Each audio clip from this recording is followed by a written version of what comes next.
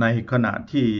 พราหมณ์ทั้ง 8 ได้ตกตะลึงพลึงเพลิดอยู่นั้นเนี่ยนะครับ เจ้าหญิงมายาก็หันมาทอดพระเนตรเห็นพราหมณ์ทั้ง 8 พอดี จริงๆ แล้วก็สังเกตเห็นตั้งแต่ตอนที่เดินเข้ามาแล้วนะครับ แต่เมื่อได้เห็นกิริยาของพราหมณ์ที่มีอาการเป็นไปเช่นนั้น เจ้าหญิงก็ทรงพระสรวนทรงพระสวน พลางรับสั่ง กับพี่เลี้ยงว่า นันทานันทา เธอไปถามพราหมณ์เหล่านั้นดูสิว่า เขาคือใคร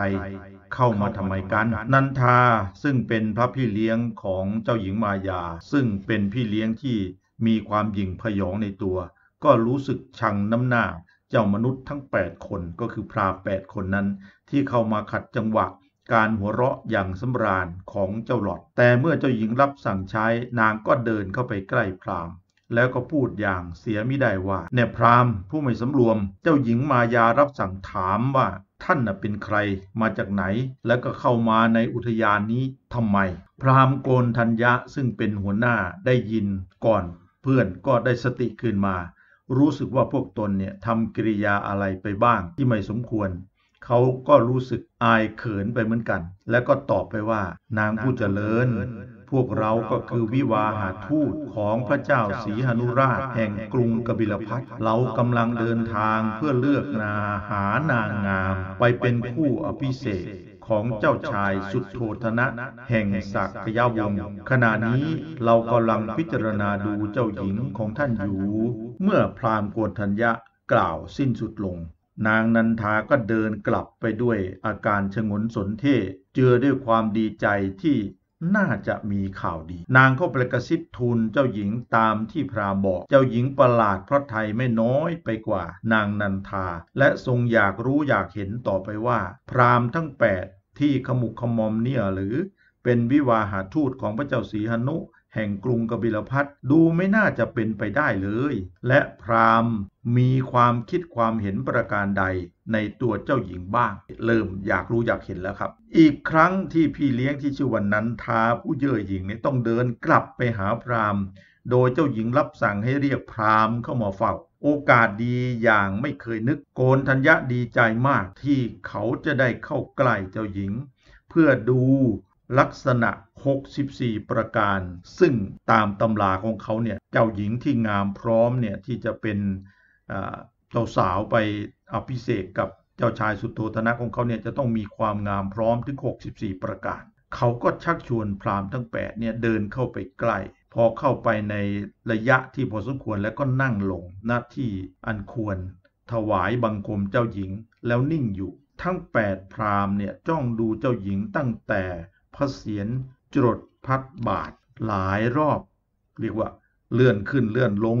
การฟ้อนลำในขณะนั้นก็หยุดชะงักลงชั่วข่าว ทุกคนหันมาดูพรามซึ่งเป็นชายหนุ่มบ้าง แก่บ้าง แปลกหน้า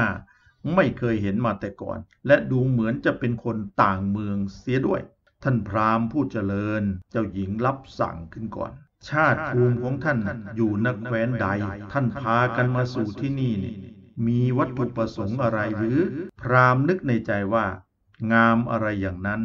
ริมพิปากแดง เหมือนสีผลพรับทอง ฟันขาวงามเหมือนไข่มุก เรียงได้ระเบียบรับกับริมพิปาก สำเนียงที่รับสั่งหวาน แจ๋วเหมือนด้วยเสียงนกกระเวก ดวงตาทั้งคู่มีสีน้ำตาลอ่อน แจ่มใสเรากับดวงดาว ภายใต้พระขนงยาวเหยียดจดหางตา พระพักรูปไข่ รับกับพระนาสิผิวพระพักขาวสะอาดดังกรีบมะลิพระปรางสีชมพูอ่อนพระเกศาดำสนิทเหมือนขนกาน้ำพระสรหงมีมีพระวรกายได้สัดส่วนตามตำรับของพรามนั้น เจ้าหญิงเป็นนางงามต้องด้วยอิทธิ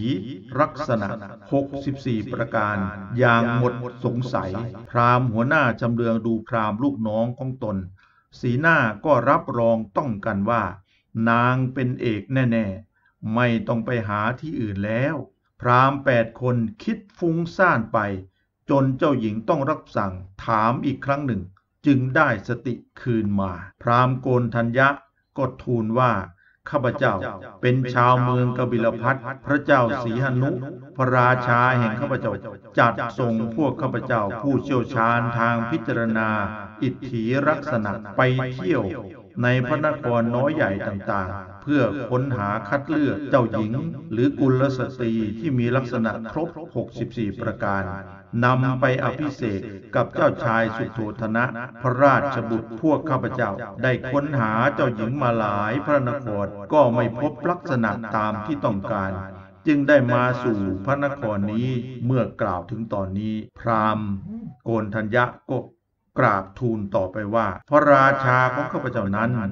เป็นพระกษัตริย์อันสูงศักดิ์และเจ้าชายสุโธธนะพระราชบุตรนั้นก็เป็นเจ้าชายที่งามบริบูรณ์ มีพระกำลังสิบช้างสารมีพระอาการอาจดุจพญาราชสีสำเร็จรอบรู้ศิลปะทั้งสิ้น บัดนี้อายุได้ 16 ปี ข้าพเจ้าได้เห็นพระแม่เจ้าทรงสีสุนทรลักษณะ สมกับพระราชดำริข้าพเจ้าจะรีบกลับกรุงกบิลพัททูลพระราชา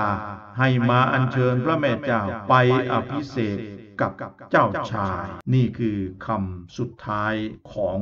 หัวหน้าพราหมณ์ที่ชื่อว่าโกนทัญญะ ผู้แสวงหาหญิงงามมาทั่วสารทิศแต่มาพบเจ้าหญิงมายา ถึงกับตกตะลึง เราก็ติดตามตอนต่อไปนะครับ ว่าเจ้าหญิงมายาจะตอบรับหรืออย่างไร โปรดติดตามตอนต่อไป อย่าลืมกดไลค์กดแชร์กันไปนะครับ จะได้รู้กันเยอะๆ เรื่องดีๆ เรื่องสนุกๆ แบบนี้นะครับ